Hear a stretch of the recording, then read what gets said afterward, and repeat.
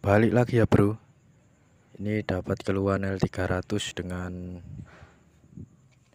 keluhannya itu remnya itu keras ya bro.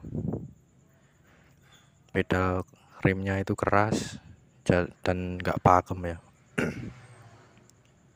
Setelah kita cek itu ternyata boosternya ini udah bocor ya bro. Ini dalamnya udah dalamnya ini oli semua ya bro. Yang di sini tadi oli semua. Oli rim semua karena mungkin dulu pernah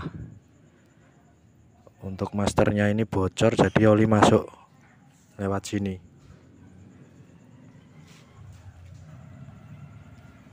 Ini untuk booster rimnya udah kita ganti baru.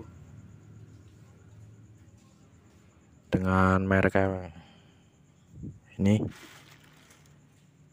dengan harga tadi 585 ya di daerah saya Sukoharjo. Jadi penyebab rem keras tadi dari sini ya dari boosternya ini udah bocor ya.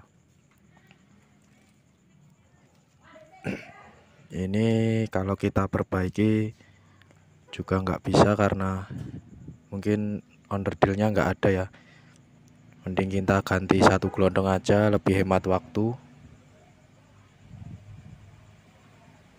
Dan juga apa itu lebih gampang ya untuk masangnya.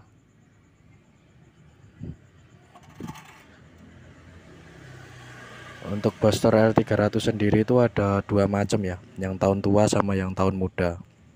Ini yang tahun tahun tua ini.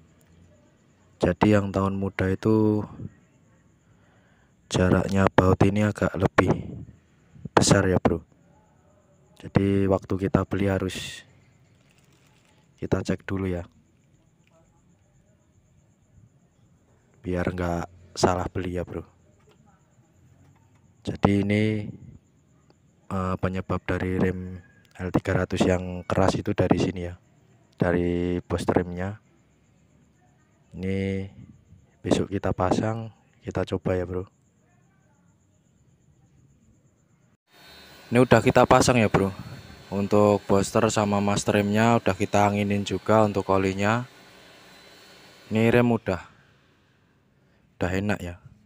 Remnya udah enak remnya udah enggak keras lagi jadi penyebab kemarin rem keras itu bisa dari sininya ya.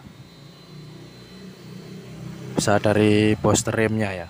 Ini udah kita ganti baru. Ini udah enak lagi untuk remnya